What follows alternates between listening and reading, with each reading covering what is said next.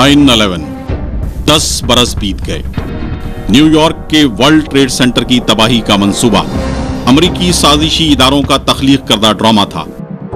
جنگ زدہ افغانستان پر فوجی قبضے کا بہانہ تھا۔ دہشت گردی کے خاتمے کے نام پر امریکی دہشت گردی کی عالمی جنگ مسلط کر دی گئی۔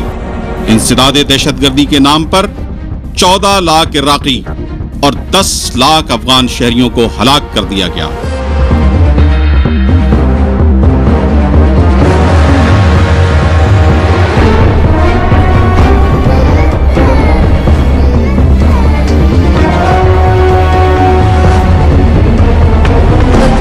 انسانی نسل کشی اور دہشت گردی امریکی سرمایہ دارانہ نظام کے خمیر میں شامل ہے۔ امریکہ ایک ایسا ملک ہے جس کی بنیاد نسل کشی پر رکھی گئی۔ یورپ کے سفید فام غارتگروں نے امریکی سرزمین پر قبضہ کرنے کے لیے دو کروڑ ریڈ انڈین باشندوں کو قتل کر دیا۔ نیو ورلڈ آرڈر سے لے کر وار آن ٹیرر تک چوتھی عالمی جنگ پوری دنیا انسانیت کو غلام بنانے کی جنگ ہے۔ جوہری ہتھیار، جراثیمی ہتھیار، کیمیائی ہتھیار جیسے انسانیت کچھ ہتھیار امریکی تجربہ گاہوں میں تیار کیے گئے ہیں۔ امریکہ جدید انسانی تاریخ کا سب سے بڑا جنگی مجرم ہے۔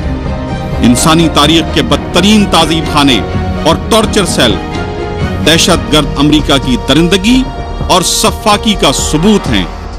دہشت گردی کے خاتمے کے نام پر امریکہ نے گونتا ناموے ابو گریب اور بگرام جیسے ہزاروں تعزیب خانے قائم کیے ہیں۔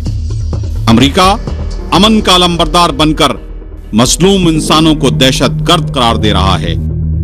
بلکتی مائیں، سسکتے بچے، تڑپتی لاشیں، ہولناک مناظر۔ امریکہ کی دہشت گردی نے دنیا کو گھیرا ہے۔ موت کی تاریخی ہے گھر سو گہرا گھور اندھیرا ہے۔ موت کی تاریخی ہے گھر سو گہرا گھور اندھیرا ہے۔ امن عالم پر ظالم نے ایسا پانی پھیرا ہے۔ امن عالم پر ظالم نے ایسا پانی پھیرا ہے۔ عالمی دہشت گرد تیرا ہے نہ میرا ہے۔ امریکہ کی دہشت گردی نے دنیا کو گھیرا ہے۔ سرمایہ دارانہ تہذیب، مغرب کے امام، امریکہ کے جرائم کی شہادتیں ہیں۔ لیکن لمحے بھر میں لاکھوں انسانوں کو ہلاک کر دینے کی جدید ترین ٹیکنالوجی کی طاقت افغانستان میں ناکام ہو گئی ہے۔ افغانستان سرزمین جہاد و شہادت ہے۔ تصور جہاد و شہادت نے افغانستان کو دنیا کی سب سے بڑی سپر پاور کا قبرستان بنا دیا ہے۔ امریکہ افغانستان کی شکست سے بچنے کے لیے اس جنگ کو پاکستان میں لے آیا ہے۔ سابق فوجی عامر جنرل پرویز مشرف نے ایک ٹیلی فون کال پر امریکی غلامی کی زنجیریں پہن لی ڈاکٹر آفیہ صدیقی جیسی فتماب اور پاک باز قوم کی بیٹی سمیت سینکڑوں جوانوں کو امریکی ویشیوں کو فروخت کر دیا گیا۔ غلام حکمرانوں نے پاکستان کو امریکی دہشت گردی کا مرکز بنا دیا ہے۔ ریمن ڈیوس جیسے اے کے اہلکار اور بلیک واٹر کے دہشت گردوں نے پاکستان کو دہشت گردی کی آگ میں جھونک دیا ہے۔ سی آئی اے اور ایف بی آئی نے اپنے جال کو پھیلا دیا ہے۔ پاکستان کے قبائلی علاقے ڈرون حملوں کی دہشت گردی کا شکار ہیں۔ افغانستان میں شکست کی رسوائی سے بچنے کے لیے اہل پاکستان کے اتحاد کو انتشار میں تبدیل کر رہے ہیں۔ امریکہ کے اعلی کار بدنوان حکمران، بم دھماکے تخریب کاری اور قتل و غارت گری کا بازار گرم کر کے اہل پاکستان کو صدا دے رہے ہیں۔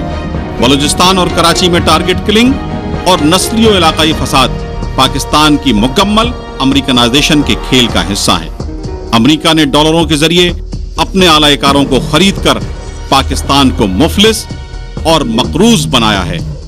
افغانستان پر امریکی فوج کشی کی وجہ سے دس برسوں میں پاکستان میں تین ہزار سے زیادہ فوجی اور پینتیس ہزار سے زیادہ عام شہری موت کے گھاٹ اتارے جا چکے ہیں۔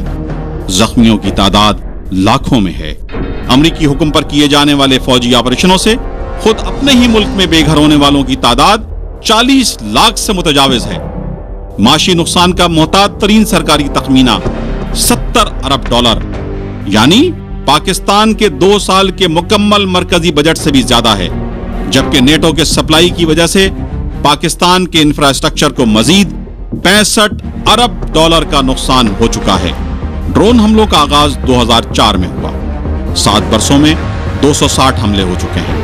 اس میں ہلاک ہونے والے نام نہاد مطلوب دہشت گردوں کی تعداد پچاس اور ساٹھ کے درمیان ہے۔ اور عام بےگنا پاکستانیوں کی تعداد دو ہزار پانچ سو سے زیادہ ہے۔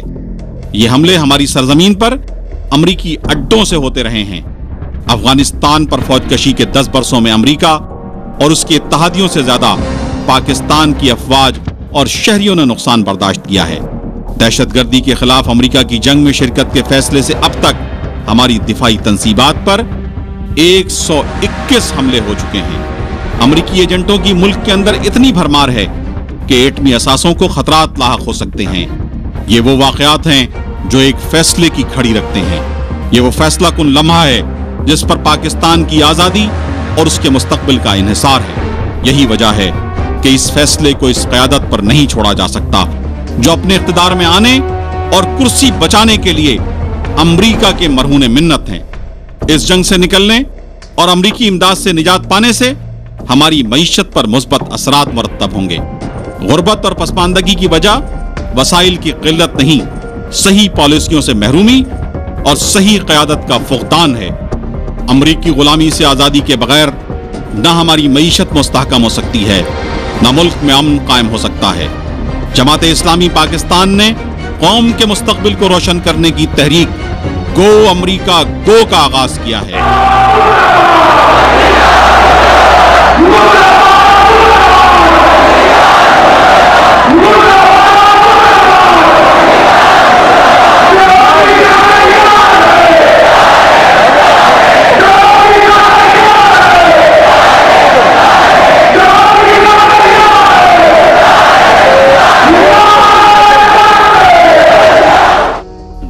امریکہ گو عوامی ریفرنڈم۔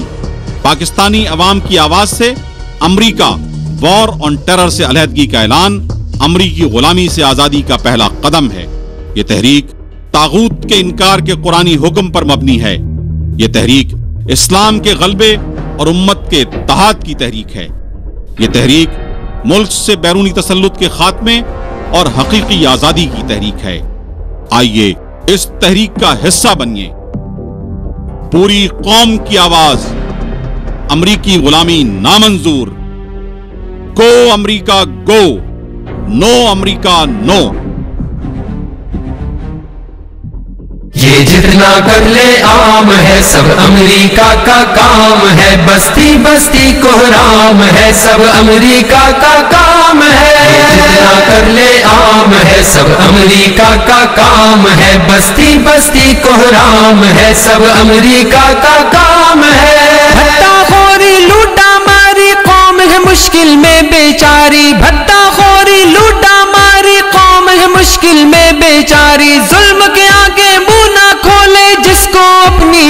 ہے پیاری ظلم کے آگے منہ نہ کھولے جس کو اپنی جان ہے پیاری۔ ذلت صبح و شام ہے سب امریکہ کا کام ہے۔ بستی بستی کو رام ہے سب امریکہ کا کام ہے۔ جتنا کر لے عام ہے سب امریکہ کا کام ہے۔ بستی بستی کو رام ہے سب امریکہ کا کام ہے۔ کر کے امریکہ کی غلامی اللہ سے منہ موڑ لیا۔ کر کے امریکہ کی غلامی اللہ سے منہ مو موڑ لیا۔ رشتہ واشنگٹن سے جوڑ لیا، توڑ لیا ہر مین سے رشتہ واشنگٹن سے جوڑ لیا۔ حاکم یا غلام ہے، سب امریکہ کا کام ہے۔ بستی بستی کو رام ہے، سب امریکہ کا کام ہے۔ جتنا کر لے عام ہے، سب امریکہ کا کام ہے۔ بستی بستی کو رام ہے، سب امریکہ کا کام ہے۔ بیچ دیا عزت غیرت اور حمیت کو بھی اپنی بیچ دیا۔ رہزن تو نے ملک و ملت کو بھی اپنی بیچ دیا۔ رہزن تو نے ملک و ملت کو بھی اپنی بیچ دیا۔ ڈاکو ہے یا قوام ہے سب امریکہ کا کام ہے۔ بستی بستی کو رام ہے سب امریکہ کا کام ہے۔ یہ جتنا سب امریکہ کا کام ہے، بستی بستی کوحرام ہے۔ سب امریکہ کا کام ہے۔ مرغ مسلم، تم نے اڑائے قوم کو بھوک افلاس دیا۔ مرغ مسلم، تم نے اڑائے قوم کو بھوک افلاس دیا۔ خواب دکھا کر خوشحالی کے جینے کا حق چھین لیا۔ خواب دکھا کر خوشحالی کے جینے کا حق چھین لیا بربادی ہر گام ہے سب امریکہ کا کام ہے بستی بستی کوحرام ہے سب امریکہ کا کام ہے جتنا کر لے عام ہے سب امریکہ کا کام ہے بستی بستی کوحرام ہے سب امریکہ کا کام ہے ملک و ملت کے یہ محافظ اعلیٰ کار ہے دشمن کے ملک و ملت کے یہ محافظ اعلیٰ ہے دشمن کے۔ گلشن کے رکھوالے بن بیٹھے ہیں دشمن۔ گلشن کے گلشن کے رکھوالے بن بیٹھے ہیں دشمن۔ گلشن کے ہر لمحہ ہو آشام ہے، سب امریکہ کا کام ہے۔ بستی بستی کوحرام ہے، سب امریکہ کا کام ہے۔ جتنا کر لے عام ہے، سب امریکہ کا کام ہے۔ بستی بستی کوحرام ہے، سب امریکہ کا کام ہے۔ ہرگز نہ امید نہیں۔ رب نعیم ہے اپنے بھروسہ، ہرگز نہ امید نہیں۔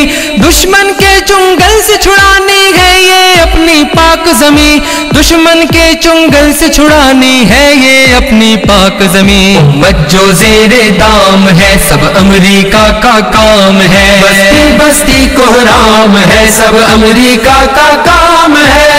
جتنا لے عام ہے سب امریکہ کا کام ہے۔ بستی بستی کوحرام ہے سب امریکہ کا کام ہے۔ جتنا لے عام ہے سب امریکہ کا کام ہے۔ بستی بستی کوحرام ہے سب امریکہ کا کام ہے۔ جتنا لے عام ہے سب امریکہ کا کام ہے۔ بستی بستی کوحرام ہے سب امریکہ کا کام